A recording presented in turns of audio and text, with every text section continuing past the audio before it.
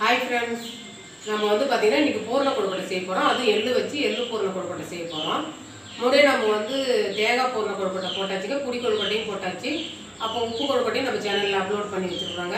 ஆனால் இப்போ நம்ம எள்ளு கொழுக்கட்டை விநாயகர் சதுர்த்திக்கோசம் செய்ய போகிறோம் அது எப்படி செய்யலாம்னு பார்க்கலாம் வாங்க. இப்போ வந்து எள்ளு சேர்த்து வறுத்துக்கலாங்க.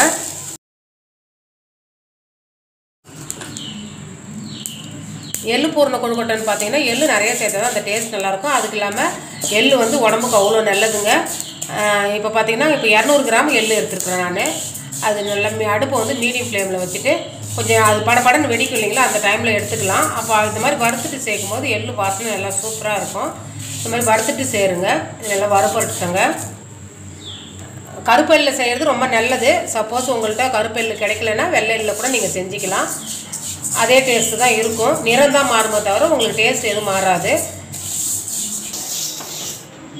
நல்லா வறுபட்டுருதுங்க. நல்லா இந்த இந்த டைமில் நம்ம எடுத்துடலாம்.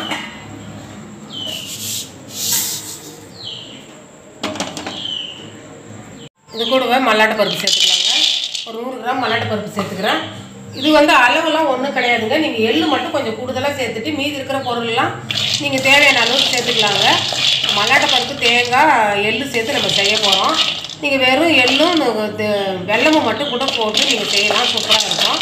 நான் மூணு பொருள் சேர்த்து செய்கிறதுனால கொஞ்சம் டேஸ்ட் ஒரு டிஃப்ரெண்ட்டாக இருக்கும். அதனால தாங்க நான் மல்லாட்டை பருப்பு சேர்க்குறேன்.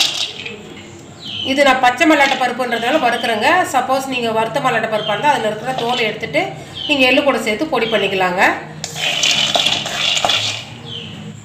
அவ்வளோதாங்க எந்த அளவுக்கு வறுபட்டுட்டா எடுத்துடலாம். நம்ம இதில் இருக்கிற மேலே இருக்கிற தோல் எடுக்க போகிறோம் அதனால் வேறு பிளேட்டில் எடுத்துக்கலாங்க. திரும்பவும் அதே வானில் ஒரு அரை மூடி தேங்காவை துருவி வச்சுருக்குறேங்க. அதை சேர்த்து லைட்டாக அந்த வறுத்து எடுத்துக்கலாங்க. தேங்காவோடைய அந்த பச்சை வாசனை போகிற அளவுக்கு நம்ம வறுத்து எடுத்துக்கலாம். நல்லா தேங்காய் வந்து இந்த அளவுக்கு அந்த ஈரப்பதம்லாம் நல்லா ட்ரை ஆயிடுச்சு பாருங்கள் இந்த அளவுக்கு நம்ம ஆனது எடுத்துடலாம். இப்போயுமே இது பார்த்தீங்கன்னா எள்ளு கூட சேர்த்துக்கலாங்க. மல்லாட்டையில் இருக்கிற தோல் எடுக்கிறதுக்கோசம் அதை தனியாக வச்சேன். இதை வந்து எள்ளு கூட சேர்த்துக்கலாம். இப்போ வந்து தண்ணி வச்சுக்கலாங்க. தண்ணி இது அளவுலாம் ஒன்றும் கிடையாதுங்க. நம்ம சுடு தண்ணி வச்சுக்கின்னு பிசையும் போது அளவோட நம்ம பிசைஞ்சிக்கலாம். இப்போ வந்து பார்த்திங்கன்னா பூர்ணம் ரெடி பண்ணிக்கலாங்க. ஒரு நாலு ஏலக்காவை ஃபஸ்ட்டு போட்டுக்குங்க. அது கூடவே தேங்காவும் எள்ளும் இருக்குது இல்லைங்களா? அதை சேர்த்துக்கலாம் நம்ம.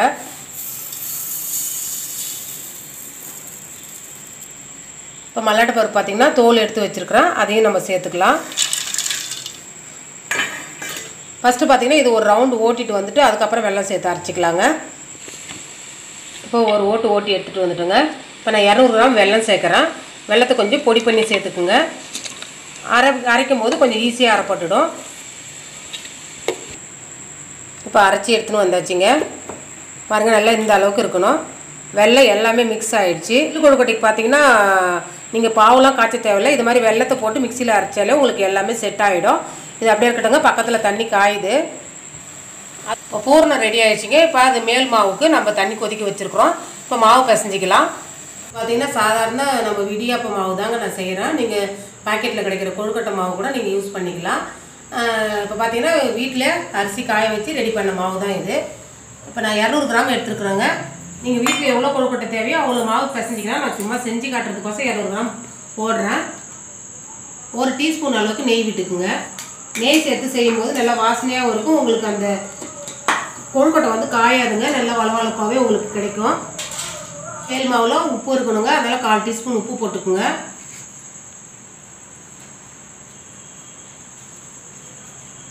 நெய்யை வந்து எல்லா இடத்துலையும் கலந்து விட்டுருங்க. விட்டுட்டு கொஞ்சம் கொஞ்சமாக தண்ணி சேர்த்து பிசைஞ்சிக்கங்க. நல்லா கொதிக்கணும் தண்ணி.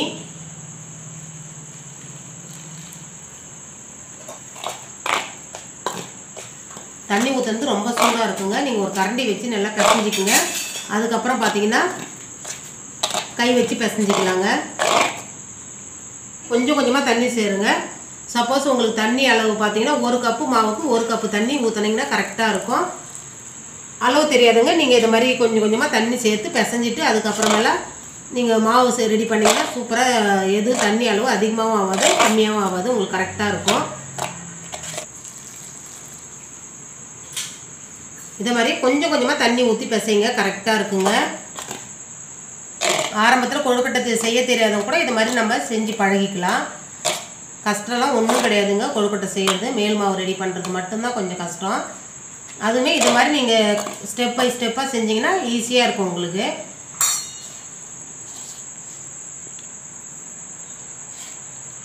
லைட்டாக சூடாக இருக்குதுங்க. நான் இருந்தாலும் உங்களுக்கு கையால் பிசைஞ்சு காமிக்கிறேன். நீங்கள் ஆறுனதுக்கப்புறம் கூட பொறுமையாக நீங்கள் பிசைஞ்சிக்கலாம்.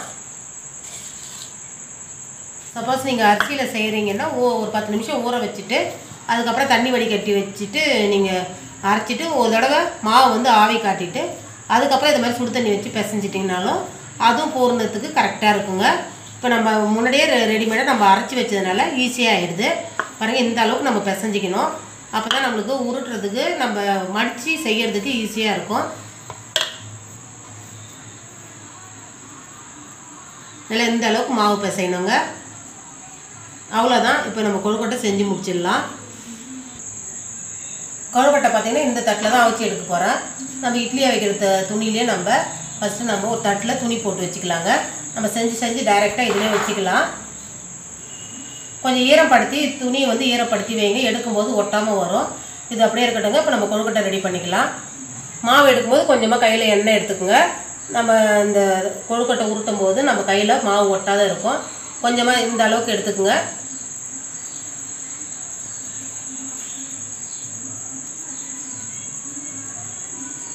ஒரு கிண்ணம் மாதிரி செஞ்சுக்குங்க. இப்போ வந்து பார்த்தீங்கன்னா மடி கொழுக்கட்டை தான் நான் செய்கிறேன் நீங்கள் வந்து இப்போ பார்த்தீங்கன்னா இந்த மோதகம் மாதிரி செய்கிறதா இருந்தாலும் நான் செஞ்சு காமிக்கிறேன்.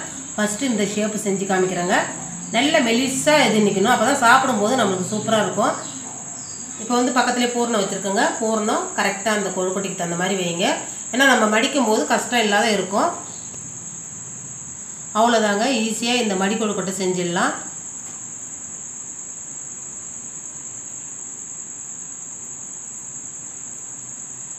அவ்வளோதாங்க ரெண்டு கையை வச்சு இப்படி அமுக்குனிங்கன்னா உங்களுக்கு கரெக்டாக அந்த விரிசல் இல்லாமல் அழகாக வரும்.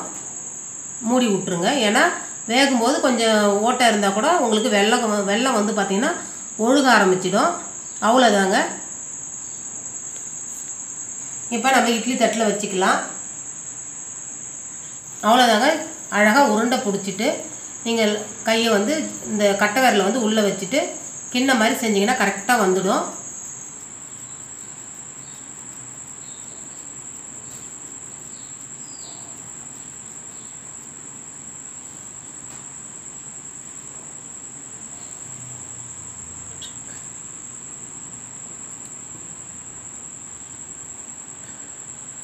இப்போ இந்த ஷேப்பில் ஒன்று செஞ்சு காமிக்கிறேங்க. இது எல்லாத்தையும் உள்ளே வச்சுட்டு கொழுக்கட்டை அச்சியே தேவையில்லைங்க. கையாலே நம்ம பூண்டு கொழுக்கட்டை கூட செஞ்சு முடிச்சிடலாம். அவ்வளோதான் இதையும் வச்சிடலாங்க. நம்ம கையில் எண்ணெய் எடுத்ததுனால மாவு ஒட்டாமல் வருது பாருங்கள் அழகாக நீங்கள் லைட்டாக எண்ணெய் தடவிங்க. ஒவ்வொரு கொழுக்கொட்டிக்கும் எண்ணெய் தடவணுன்ற அவசியம் கிடையாது. இந்த கிண்ணம் செய்யும்போது மட்டும் நல்லா அந்த உடையாமல் நீங்கள் செஞ்சீங்கன்னா நம்ம மடிக்கும் போது ஈஸியாக மடிச்சிடலாங்க. இந்த இளநீரில் வந்து ஒரு லேயர் மாதிரி இருக்கும் இல்லைங்களா? அந்த லேயர் பாத்திரத்துக்கு நீங்கள் வந்து இந்த கிண்ணத்தை உருவாக்கணும்.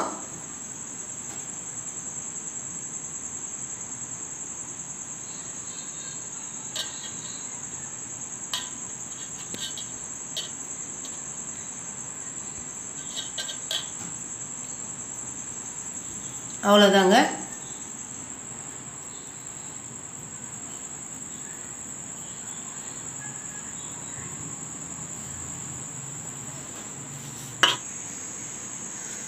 இப்போ பார்த்தீங்கன்னா இப்போ கொஞ்சம் இந்த பூண்டு கொழுக்கட்டையும் கொஞ்சம் செஞ்சுருக்குறேங்க. இந்த மடி கொழுக்கட்டையும் கொஞ்சம் செஞ்சுருக்குறேன். மீதி இருக்கிற மாவுலாம் கொஞ்சம் இருக்குது. இதை அடுத்து அடுத்த ஈடுக்கு நம்ம வச்சுக்கலாம். இதை ஃபஸ்ட்டு அவிச்சு எடுத்துடலாங்க. முன்னாடியே தண்ணி சூடு பண்ணி வச்சுருக்கோங்க. தண்ணி நல்லா சூடாயிடுச்சு. இப்போ நம்ம வச்சுக்கலாங்க. நல்லா தண்ணி சூடு ஏறினதுக்கப்புறம் நம்ம அவி அவிக்க வேண்டிய கொழுக்கட்டை வச்சு மூடி வச்சிடலாங்க. அவ்வளோதான் ஒரு பத்து நிமிஷத்தில் வெந்துடும். நம்ம அதுக்கப்புறம் வெந்ததுக்கப்புறம் பார்க்கலாங்க இப்போ கொழுக்கட்டை வச்சு பத்து நிமிஷத்துக்கு மேலே ஆயிடுச்சிங்க. நம்ம எடுத்துடலாம். இப்போ நம்ம வெந்துதா என்னன்னு பார்க்கறதுக்கு பார்த்தீங்கன்னா இப்படி நம்ம த கையில் வந்து பார்த்திங்கன்னா தண்ணி ஈரம் தொட்டுக்குன்னு. இது மாதிரி கொழுக்கட்டை மேலே வச்சிங்கன்னா கையில் ஒட்டாமல் வரணும். அதுதாங்க இப்போ நம்ம எடுத்துடலாம். நல்லா வெந்துடுது கொழுக்கொட்டை நிறமும் மாறி இருக்குது. இப்போ கேஸ் ஆஃப் பண்ணிடலாங்க.